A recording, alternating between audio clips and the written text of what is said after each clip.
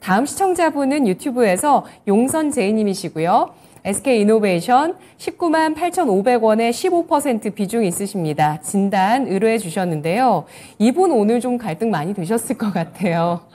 지금 차트가 보이고 있는데 장중에 좀 하락을 했다가 어, 결국에는 어, 종가로는 오늘 그런 0.5% 하락으로 끝났는데 장중에는 6%까지 하락했다가 또 11%까지 급등을 했었죠. 팔까 말까 고민 조금은 하셨을 것 같아요. 오늘 전략 어떻게 세울까요? 자, 이게 오전에 한 11% 정도 그 정도 올랐었죠. 대부분의 종목들이 1시 이전에 어, 뭐 거의 피크를 찍고 2차 전지 쪽이 네. 이렇게 확 밀리는 모습이 나왔는데요.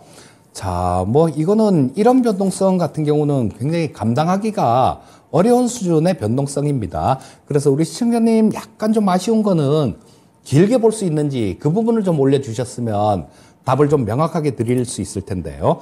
자, 지금, 어, 단기간으로 봐서는 지금 오늘 2차 전지 쪽 움직임 부분들, 이런 부분들은 단기적인 움직임은 예, 좀 타격이 있다라는 생각이에요. 그리고 오늘 장중에 에코프로 BM의 시가총액이 LG화학의 시가총액을 넘었었습니다.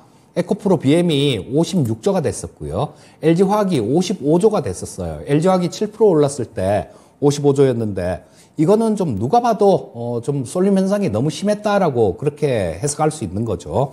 자, 이 셀 업체들 같은 경우는 다르다라는 생각이에요. 뭐 그런 쪽 그쪽하고는 좀 다르다는 생각인데 그동안 크게 올라오지도 못했습니다. 다만 어 지금 뭐저 다른 쪽들하고 같이 연동돼서 변동성이 커진 부분들이니까 이 SK 이노베이션 같은 경우는 긴 관점이다라면요. 단기 관점이다라면 어, 좀 전략이 달라질 수 있을 텐데 긴 관점이다라면 보유를 하시는 게 좋다라는 생각이에요.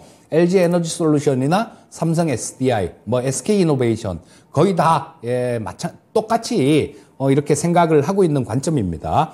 자, 얼마 전에 이 SK 이노베이션이 어, 유상증자를 발표하면서 좀 급락을 한 그런 부분들이 있었는데요.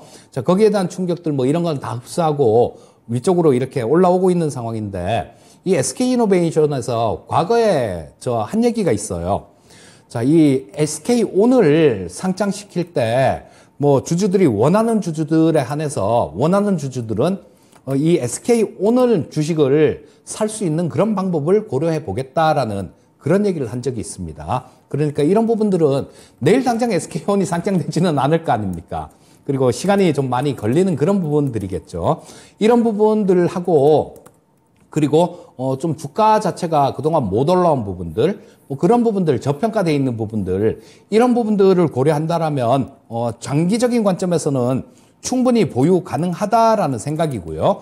자, 아마 어, 이게 장기적인 관점에서 들고 계시면 뭐 이게 좀 어, 위쪽으로 이렇게 좀 강하게 올라온다라는 생각이고 결국은 최종적으로는 어, 보시면 여기 기업 분할하기 전에 고점 자리 있죠. 이 자리는 지금 LG 화학이 그 저 기업 분할하고 난 다음에 못 뚫고 있지 않습니까?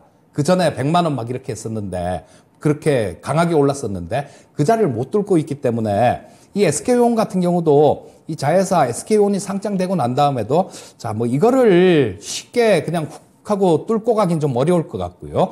자, 뭐 어느 정도 길게 가면 그, 저, 근처 정도, 그 정도까지는 움직일 수 있다라는 생각입니다. 그래서 그 근처 정도 가격은 한 27만 원대 근처 정도 그 정도가 되지 않을까 싶은 생각이 들어요. 그래서 좀 장기 관점에서 보유 의견 말씀드리겠고요. 목표가는 장기 관점에서 한 27만 원 정도 설정하고 보시면 될 것 같습니다.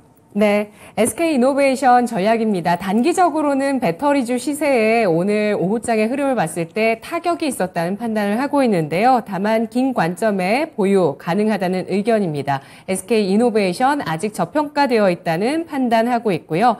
SK 온 상장 시에 주주를 배려하겠다는 회사 측의 의견 역시도 긍정적이라고 보면서 장기 보유 목표가 27만 원 제시했습니다.